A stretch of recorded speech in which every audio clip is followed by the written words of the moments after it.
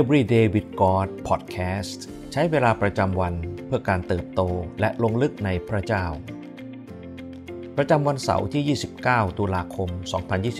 2022 ซีรีส์การทรงเรียกสู่เสรีภาพ วันที่ 3 กลับมาสู่เสรีภาพในการสมสร้าง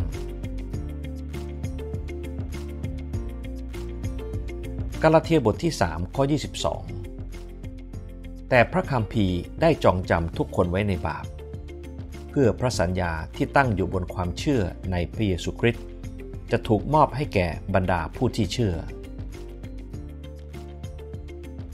เราล้วนถูกเรียกมาให้เป็นตัวแทนของพระเจ้าบนโลกนี้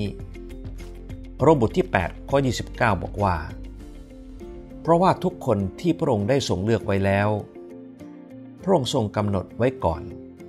ให้เป็นตามพระฉายาแห่งพระบุตรของพระองค์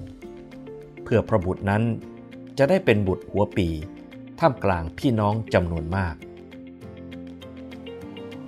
นี่คือแผนการของพระเจ้า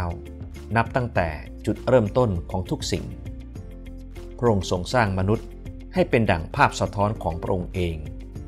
และเพื่อให้เป็นเหมือนพระเยซู พระบุตรของพระองค์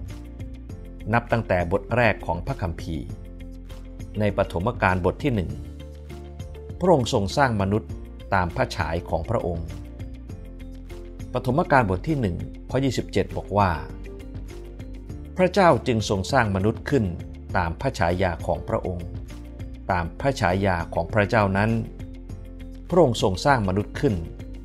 และทรงสร้างให้เป็นชายและหญิง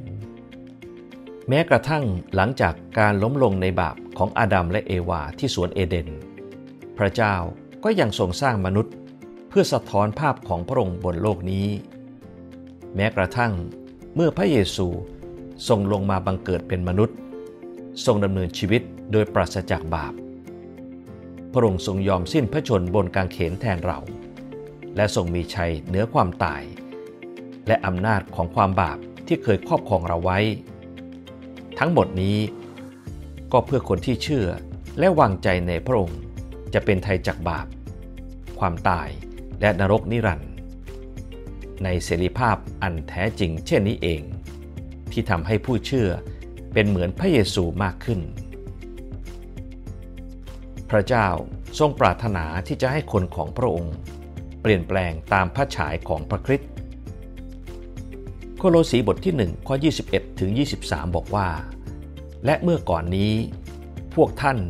ถูกตัดขาดจากพระเจ้า และเป็นศัตรูในใจ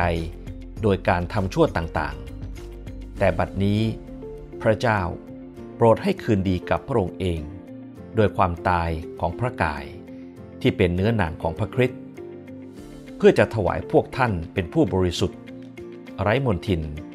และปราศจากตำหนิ เฉพาะพระพักของพระองค์ แต่ท่านทั้งหลาย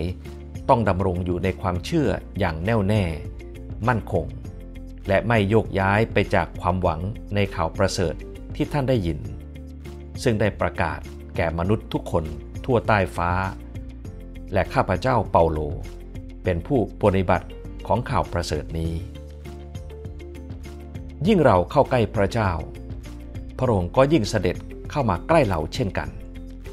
และนั่นก็ยิ่งทำให้เราเติบโตขึ้นในการรู้จักพระองค์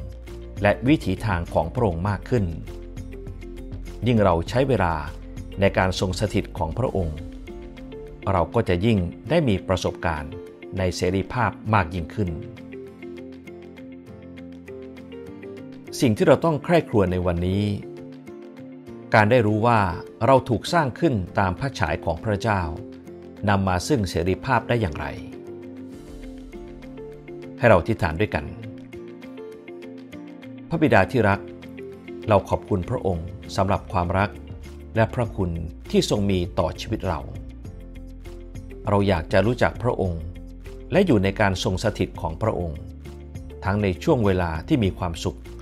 และช่วงเวลาที่ยากลำบากแสนสาหัส ขอทรงช่วยเรา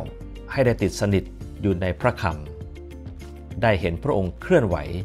ในทุกช่วงเวลาของชีวิต เรารักพระองค์ อธิษฐานในพระนามพระเยซู เอเมน